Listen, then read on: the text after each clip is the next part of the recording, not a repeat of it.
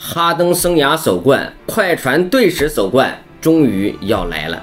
刚刚七十六人终于把自由还给了哈登，将他送去了快船。同时，老塔克也追随哈登而去。这一下，快船队组成了联盟最强三巨头：伦纳德、乔治、哈登。放眼整个联盟，再也没有比这个组合更强、牌面更大的三人组。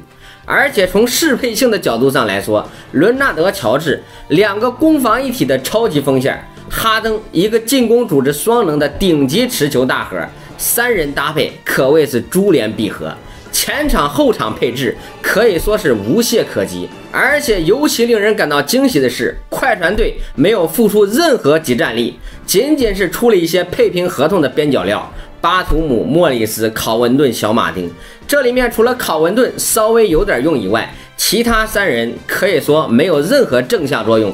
四个人加一起，场均得分只有九点七分，都比不上哈登的一块脚皮。更何况塔克的到来本身也可以弥补考文顿的空缺。因此，除了选秀权方面的损失以外，快船队可以说是半点战力没有下降，空降了一个二十加十的超级明星。其他球员姑且不论，卡焦登三人组平均每场保底就可以贡献七十分的火力。你再搭配上鲍威尔、海兰德这些得分手，回头曼恩再满血归来，快船的进攻火力只怕更在全员太阳之上。如果把这个神龟换成二登哥，快船这个阵容将绝杀。只可惜换不得。但是哈登来了以后，威少就要尽量少用。首先，必须将他从首发阵容中移除，用投射能力更强的海兰德或者鲍威尔搭配哈登。